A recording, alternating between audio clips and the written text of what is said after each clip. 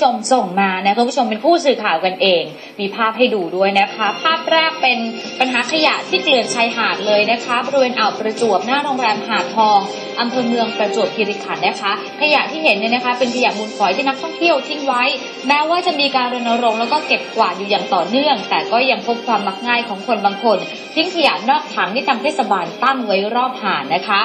มาดูอีกภาพหนึ่งค่ะ เป็นสภาพถนนทางเข้าอบต